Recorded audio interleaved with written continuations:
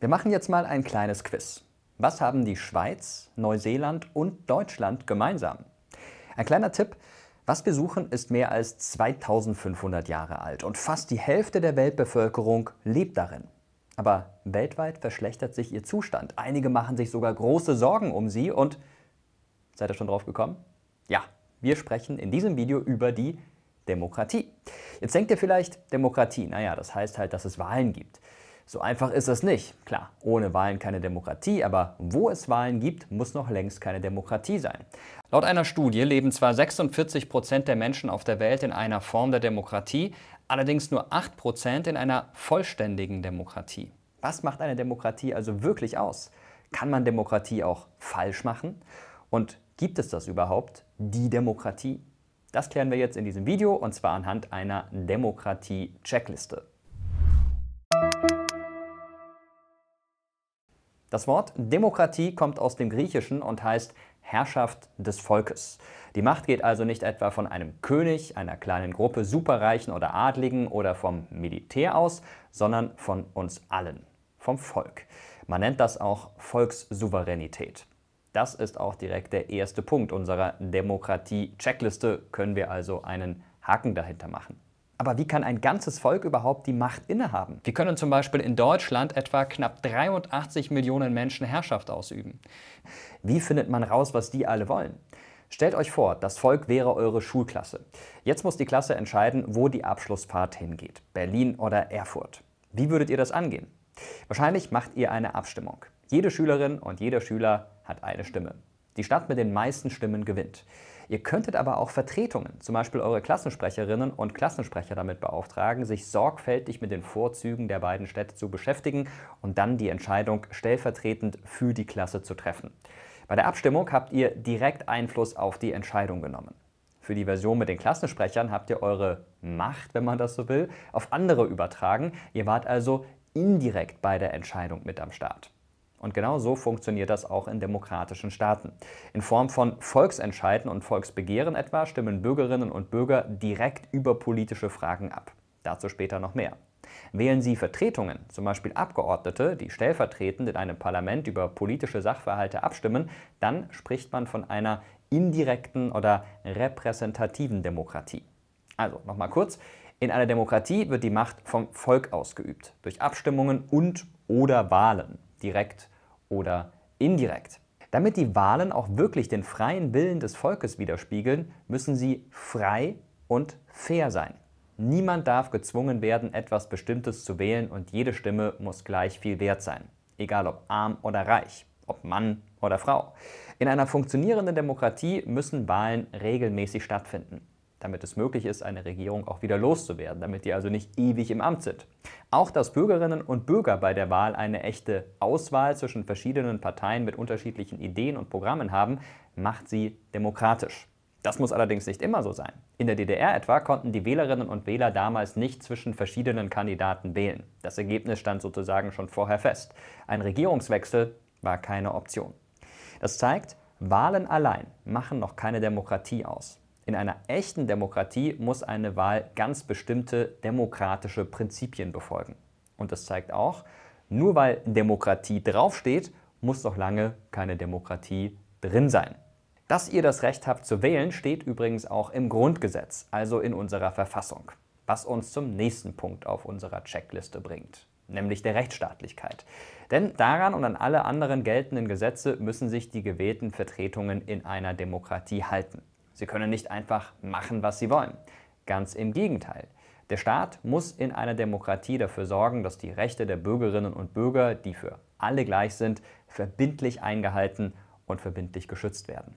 Das nennt man dann eben Rechtsstaatlichkeit. Das verhindert Willkür, also dass man zum Beispiel ohne Begründung festgenommen und bestraft wird und sich nicht verteidigen darf. Genau so etwas geht in einem Rechtsstaat überhaupt nicht. Eine echte Demokratie muss immer ein Rechtsstaat sein, bei dem es klare Regeln gibt, an die sich alle, also Staat und Bevölkerung, halten müssen. Zu verhindern, dass ein Staat seine Macht unkontrolliert einsetzen kann, gehört auch zu einer Demokratie und deshalb auf unsere Demokratie-Checkliste. In einer Demokratie wird die Macht des Staates, die Staatsgewalt, aufgeteilt. Ein Staat macht ja zum Beispiel nicht nur Gesetze, sondern kümmert sich auch um die Ausführung. Also setzt die Gesetze um und kontrolliert, dass sie richtig eingehalten werden. Um zu verhindern, dass dabei jemand zu viel Macht hat oder diese Macht missbraucht wird, sind die Bereiche Gesetzgebung, also Legislative, Ausführung, die Exekutive und Rechtsprechung, Judikative, in Deutschland zum Beispiel voneinander getrennt. Das heißt, eine Berufspolitikerin, die ein Gesetz verabschiedet hat, kann nicht gleichzeitig Polizistin sein und gucken, dass das auch eingehalten wird und noch als Richterin darüber entscheiden, ob jemand das Gesetz gebrochen hat. Die Trennung der Macht in unabhängige Bereiche sorgt auch dafür, dass sich die Gewalten gegenseitig kontrollieren. Im Englischen spricht man von Checks and Balances. Und wo wir gerade über Kontrolle sprechen, in einer funktionierenden Demokratie gibt es auch noch eine vierte Macht, die Medien. Sie schauen zum Beispiel auf das, was Politikerinnen und Politiker machen und zeigen auch auf, wenn etwas schiefläuft. Sie halten das Volk auf dem Laufenden, was ihre Stellvertretungen überhaupt so machen, welche Gesetze sie beschließen und bewerten ihre Arbeit. So können sich alle eine Meinung bilden.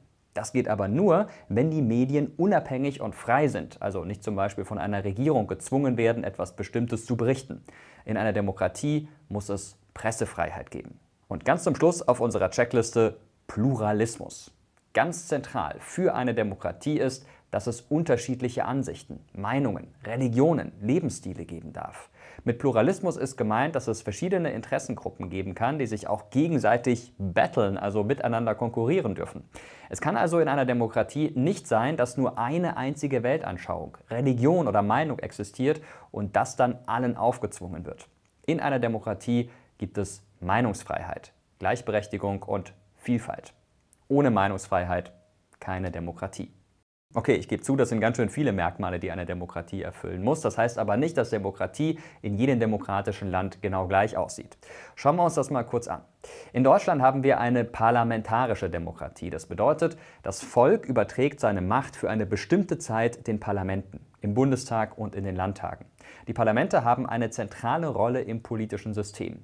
Nur sie sind direkt vom Volk gewählt.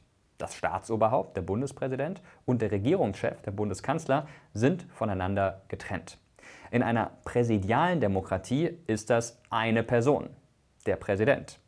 So funktioniert das in Frankreich und den USA zum Beispiel. Präsident und das Parlament werden vom Volk gewählt. Beide Formen haben gemeinsam, dass sie repräsentativ sind, das Volk also vertreten wird. In unserem Nachbarland Schweiz gibt es dagegen viel mehr direkte Demokratie. Die Bürgerinnen und Bürger haben viele Möglichkeiten, in die Gesetzgebung einzugreifen. Das Schweizer Volk stimmt regelmäßig über Sachfragen ab. Etwa viermal im Jahr können die Menschen dort zu etwa 15 Sachfragen ihre Stimme abgeben. Und sie können auch selbst solche Fragen zur Abstimmung einbringen. Die Schweiz ist aber keine reine direkte Demokratie. Das würde wahrscheinlich so nicht funktionieren, denn auch die Schweizerinnen und Schweizer wählen ein Parlament. Übrigens, auch in Deutschland gibt es direktdemokratische Möglichkeiten. Zum Beispiel kann es in Bundesländern und Gemeinden Volksbegehren, Volksentscheide oder Bürgerentscheide geben. Ob eine Demokratie mehr auf direkte Beteiligung oder mehr auf repräsentative Institutionen setzt, ist aber, ihr ahnt es, bei weitem nicht der einzige Unterschied. Es gibt Demokratien mit zwei Parteiensystemen, wie die USA, oder ganz vielen politischen Parteien. Es kann unterschiedlichste Wahl- und Regierungssysteme in Demokratien geben. Es gibt Demokratien, die föderal geordnet sind, wie Deutschland, oder eher zentraler organisiert sind, wie Frankreich. Auch die Vorstellungen, wie viel sich ein Staat in einer Demokratie einmischen soll, können extrem unterschiedlich sein. Manche legen mehr Wert auf persönliche und wirtschaftliche Freiheit und wollen, dass der Staat möglichst wenig reguliert.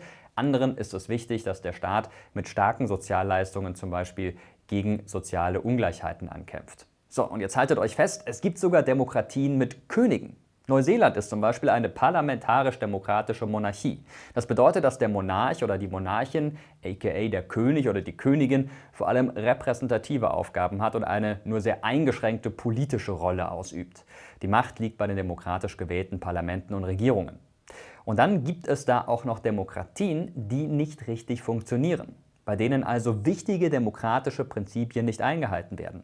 Zum Beispiel, wenn Wahlen nicht fair ablaufen, die Pressefreiheit eingeschränkt wird, Bürgerrechte verletzt werden. Dabei muss es nicht zwingend sein, dass das demokratische System in einem Land von Anfang an defekt war. Demokratische Staatsformen können sich auch verändern und demokratische Institutionen abgebaut werden. Das passiert auch immer wieder. Experten sagen, dass sich die Lage der Demokratien aktuell weltweit verschlechtert hat. Laut dem Demokratieindex 2023 der Economist Intelligence Unit lebt zum Beispiel zwar fast die Hälfte der Weltbevölkerung in einer Form der Demokratie, weniger als 10% aber in einer vollständigen. Deutschland ist auf Platz 12 des Rankings gelandet, das von Norwegen, Neuseeland und Island angeführt wird. Untersucht werden da zum Beispiel Wahlverhalten und Pluralismus oder bürgerliche Freiheiten. Da erinnert ihr euch wahrscheinlich noch an die Checkliste. Es gibt also gar nicht die eine Demokratie. Demokratien gibt es in verschiedenen Formen und Ausprägungen und in verschiedenen Qualitäten. Fassen wir zum Schluss nochmal zusammen. Demokratie bedeutet, dass die Herrschaft vom Volk ausgeht. Es gibt verschiedene Merkmale bzw. notwendige Bausteine, die zwingend zu einer Demokratie gehören. Volkssouveränität, freie und faire Wahlen, Rechtsstaatlichkeit, Gewaltenteilung, freie Medien, Pluralismus. Das ist die Theorie. Wie das demokratische System dann aber in den einzelnen Ländern aussieht, das kann sehr unterschiedlich sein.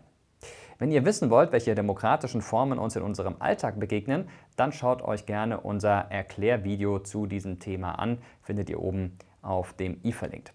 Die Frage ist, was bedeutet es denn für euch, in einer Demokratie zu leben? Woran merkt ihr das? Fühlt ihr euch überhaupt demokratisch? Und macht ihr euch Sorgen um die Zukunft der Demokratie?